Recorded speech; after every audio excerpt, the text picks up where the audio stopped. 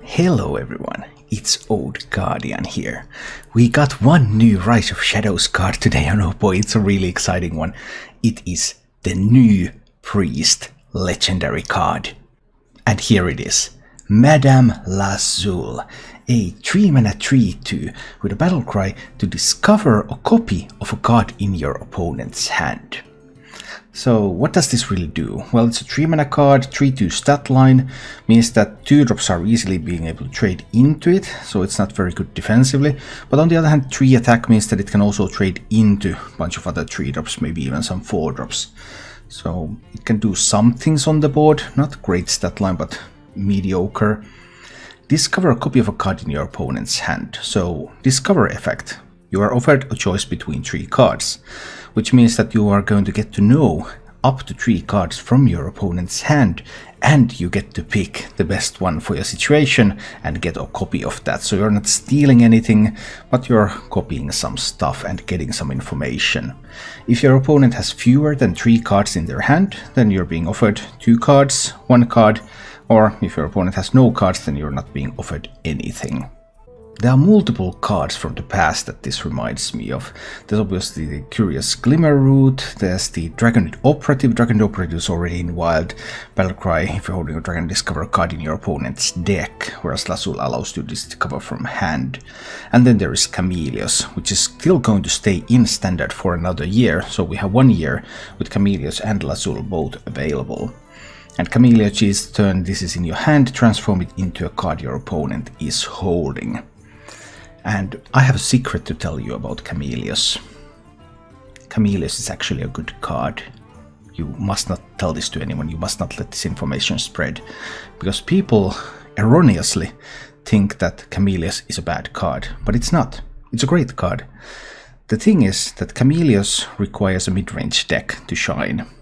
And there are no priest mid-range decks. Well, Spiteful Priest is kind of a mid-range deck, I have played mid-range Dragon Priest even in Rastakhan with some success, but there are no mainstream mid-range priest decks, and Chameleos is really a card that requires a mid-range deck to succeed. It's a card that you want to draw during the game, you never keep it in the mulligan, which is also one thing that people always do wrong with Chameleos. And then in the mid-game, when opponent has played all the useless stuff from their hand and there's just some good stuff left that they're holding, then Chameleos can really shine. Interestingly enough, Drakonid Operative, which was one of the most powerful cards in Hearthstone of all time, also mostly saw play in mid-range decks. Back when it was in standard format, Priest had viable mid-range decks. So these have been mid-range deck cards. They have been pretty solid cards, they get you some stuff, but Lazul might be even stronger than either of these thing with Chameleos is you only have that one turn window to use the card that you're being offered. So if your opponent has a really, really powerful card, and you're being offered that before you have enough mana to play it, for example, it's a pretty late game card, the opponent will play it on curve, and you can't use it. You know they have it and you can't use it. Similar with Dragon Operative. You play it, you might not find. Finding stuff from the opponent's deck is pretty difficult. But with Madame Lazul, you have a pretty decent chance to find good stuff from your opponent's hand if they have happened to draw those good cards. So Madame Lazul can be an extremely powerful card. It also synergizes extremely well with Chameleos, because Chameleos can tell you what the opponent has in their hand, and then you can play Madame Lazul at an appropriate time to grab a copy. Chameleos and Drakonid Operative are mid-range deck cards. Madame Lazul goes extremely well into mid-range decks. Well, great fit there. However, Madame Lazul is a bit more flexible than either of these.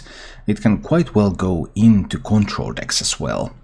And the effect is also powerful because it can synergize potentially with Princess Talanji, Another priest legendary that hasn't really had a chance to shine yet in the current meta, but after the rotation we just might get a lot better. So there are options for various control builds, there are options for mid-range builds featuring Chameleos, featuring Madame Lazul, featuring Princess Talanji. It has traditionally been the early game cards. Priest has a pretty weak early game typically, and that has prevented Priest from building a lot of mid-range archetypes. So we'll have to see what other tools Priest is going to get, but Madame Lazul looks very powerful, looks right at home in mid-range decks. If there's a way to build mid-range priest with Princess Talanji as the finisher, that's awesome. But Madame Lazul is so powerful that it could also find home in control decks. Priest is losing almost everything in the rotation, but Madame Lazul is really giving Priest back some of its strength. Thank you for watching.